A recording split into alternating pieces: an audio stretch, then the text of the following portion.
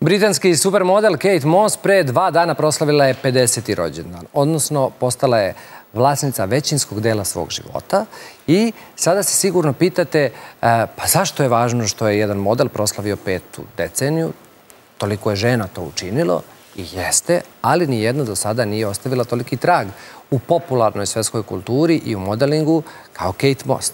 Kada se pojavila na sceni pre 30 godina, bila je netipična u svakom smislu i napravila je bum na modnoj sceni.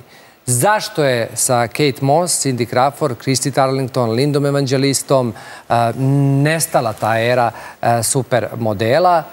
Gde su danas modeli? Koji imaju taj, koji stalno govorimo, faktor X, uh, da li su ga u svojoj običnosti da svako može sve da, da podeli na društvenim mrežama. Da li se i to izgubilo? E, o tome danas za kraj uranka e, razgovaram e, sa Ivanom e, Radojčićem, modnim urednikom. On je moj gost, dobro mi došao pre svega. Dobar dan. E, I da ne bude sve, znaš kako često volimo da kažemo, u moje vreme bilo, iako nismo toliko matori, ali da kažemo, u moje vreme to nekako bilo drugačije, u moje vreme je bilo to sve kvalitetnije. Evo, o, kada pričamo o ovoj ženi, a, ona svakako pobíja svetov. I što sad mi, po čemu je ona specifična? Za početak moram da kažem da mi se mnogo sviđa to većinski vlasnik svog života mm -hmm. i samim tim, pošto se i mi sad polako, ali sigurno približavamo tom, možemo ja da kažemo... Ja ću to da kažem da kad napunim 60 i planiram 120. Da, da, to je potpuno, to je potpuno legitimno. Ovaj, e, mislim da da, da realno danas kad pogledamo na generaciju supermodela i Kate Moss koja je i tad bila izuzeta koji potvrđuje pravilo, e, mi zapravo govorimo o rađanju tog fenomena. Mi govorimo o periodu u kome pre, pre toga manekinke su bile neke tako neme vešalice za garderobu koje služe samo da se eto tako neuznemiravano odeća ovaj, pojavi na pisti i samim tim posle plasira glumicama, drugim vedetama i sve ostalo. Kad su se pojavile ta ono, originalna generacija supermodela i sama činjenica da mi govorimo o njima kao originalnoj generaciji supermodela dovoljno govori prilog tome da mi, mi znamo da su one jednostavno originali. E, mi tu govorimo zapravo o jednoj e, glamazonskoj, impresivnoj lepoti. I onda dolazi Kate Moss koja, koja potpuno prvo pobija te dimenzije e, supermodela 90, 60, 90. I visinom ona zapravo je potpuno drugačiji uh, ovaj, lik od, od svih ostalih. Uh, ne, ne znam sad tačno u centimetra, ali, ali, ali recimo da je desetak centimetara niža, niža od, od... Zato, na primjer, recimo na, uvek kad se prave te kolektivne, to je kad su 90-ih pravile te kolektivne fotografije, Kate skoro nikada nije bila u stojećem stavu, to možete i da, ovaj, mm. da primetite.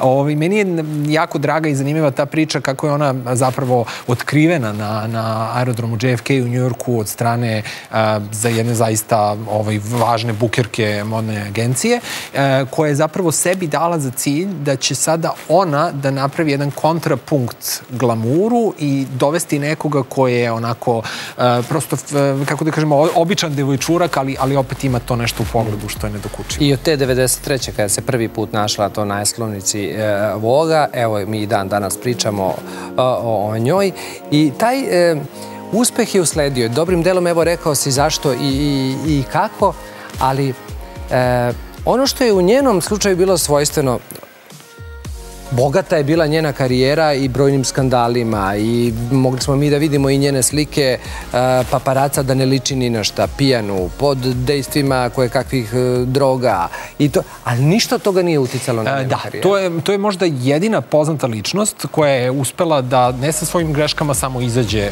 ono na kraj, nego je uspela i da nekako da to doprinese njenoj slavi. Vi kad pogledate 2014. i onaj čuveni snimak koji je izašao u svim britanskim tabloidima nje ovaj, kako konzumira kokain u, u muzičkom studiju u Londonu i kad pomislite da je samo, da je manje od tri godine trebalo da se ona ponovo vrati na tu naslovnicu Voga i ponovo vrati u sve svetske kampanje u kojima je pre toga učestvovala, eh, ja, ja zaista ne mogu da kažem da bilo ko, u, ne samo u svetu modelinga, nego u modi u celini, eh, je, je nekako doživao takvu brzu rehabilitaciju, da tako kažem, mada je ona zapravo imala i onu bukvalnu rehabilitaciju koja je posle vratila na pravi put. Eh, čak i u to vreme u Londonu postojao taj izraz koji je ovaj, je teško prevodim na srpski jezik jer je onako klasično britanski to getting most mm -hmm. ili kako kažemo ono kad, kad nekako ste zamosili ste ovaj, to znači da ste negde krenuli kući posle posla ali ste onda negde otišli u provod i niste se do ujutro vratili i ko zna šta se sve dešavalo među vremenu. Znači ona je ušla i na taj način u pop kulturu, da jednostavno ta njena e, raskalašna e, priroda i, i tako da kažemo taj jedan onako um, status party devojke je, je deo njene, njene harizme. I sad kad je ona recimo uspešna, uspešna biznis žena i vlasnica wellness imperije koja se može smatrati britanskim ekvivalentom onoga što Gwyneth Paltrow radi sa Gupom u Americi, mm -hmm. da, globalno, ali, ali ovo je baš onako negde baš vezano za UK tržište, um, nekako sad se tek vidi koliko sve te kockice u, u, u takom mozaiku uh, slave Kate Moss uh, nju mogu samo svrstati u rang sa, sa recimo Marilyn Monroe ili sa Madonom po tom, po tom doprinosu pop kulturi koji je širi čak i od onoga kad kažemo e. To, to njeno raskalašno ponašanje nije koštalo karijere, rekao si vratila se za tri godine kao da se ništa nije ni desilo, a nema koje kuće brenda nije imala ugovor sa njima ili ba, kakvi su bili sponzori po tom pitanju? Su oni, e, kako su oni gledali Kratkoročno su je, ovaj, i to je na primjer recimo bila, bila vrlo nezgodna situacija jer je njoj baš narednog meseca izlazila velika kampanja za kolaboraciju s Stella McCartney sa H&M-om i taj, prosto to je stopirano sve. Gomila klijenata s kojima ona radila su bukvalno dropovali uh, ugovor s njom kratkoročno, ali su se svi posle vratili. Ona nije bila ta koja je morala na neki način, tako da kažem, da ima uh, onaj, onaj period izvinjavanja i nekog tako, kao da kažemo, valjanja u medijskom ulju, uh, nekako prosto, jeste ona rekla da je njoj prosto žao što je se sve desilo, ali imala je takođe i jako dobru poentu u tom prilikom, a to je da uh, možda nik, uh, da je u pitanju bio bilo koji muški superstar u tom trenutku, u toj istoj pozi, u toj istoj situaciji, ne bi ga toliko, da tako kažemo, razvlačili po medijima mm. kao nju.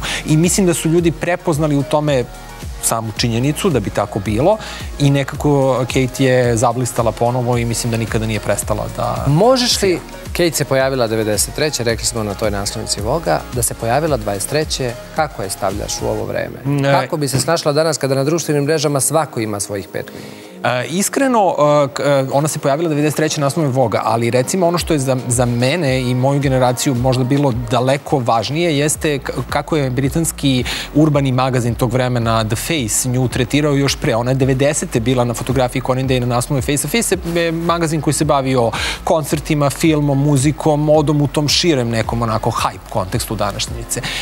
Danas, na primjer, klinci na TikToku gledaju stare primjerke The Face-a i inspirišu se i modno, a i negde onako da kažemo e, životno tom nekom nesputanom energijom tog vremena. Tako da mislim da danas da se pojavila e, Kate Moss, da se pojavila recimo prošlog meseca, prvo bi, ja mislim, postala onako e, neki baš veliki lik na TikToku, pošto je to današnji normalan put, mm -hmm. a mhm. onda bi potom odne kuće, kao što je to, na primjer, slučaj sa sada K-pop zvezdama korejske muzike, onda bi tek kasnije doživala svoj. Danas je jednostavno put drugačiji. Tada je trebalo neko da vas prosto otkrije i onda kreće vaša ekspanzija. Danas ste vi negde, ako hoćete da se bavite javnim poslom, zaslužni za svoju ekspanziju. Vi prastu, praktično pravite oko mm. sebe famu, a onda vas modna industrija prati u tome ili ne. Tako da mislim da odgovor na to pitanje ćemo moći da damo možda za 10 godina, kao još veći većinski vlasnici svog života, da o tome kako bi danas izgledala ono, ali mislim da e, to sa tih 5 minuta slave nije nužno loša stvar. Mislim da danas klinci mnogo lakše. Ona imala tu sreću da naleti na Saru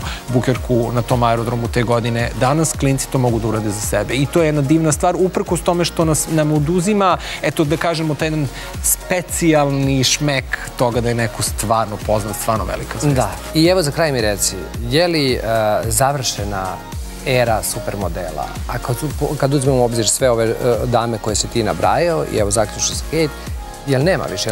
Je li sa, sa, ka, ako jeste, kad je završeno? Je početkom već 21. veka to sve bilo gotovo? A, ne, nije. Ona je, ja mislim, gotova sada kad mi sa nostalgijom pričamo o tom vremenu. Ne pričamo samo mi. Prošle godine bio Apple specijal o supermodelima koji je bio izuzetno gledan, naslov na američkog Vogue gde su one sve ponovo okupile. Mislim da kada neki fenomen postane e, deo nostalgije, on prestane da bude deo sadašnjeg vremena i samim tim mislim da danas više nije tolika aspiracija devojaka da žele da budu supermodeli. Danas mislim da je prosto medijski pejsaž drugačiji, da danas i možda su danas influencerke ono što su nekada bile za nas manekinke, mm -hmm. a najpoznatije e. influencerke su zapravo supermodeli da. i to je tako. Mnogo ti hvala, hvala ti na, na ovoj priči o jednoj ovako velikoj ženi svakako.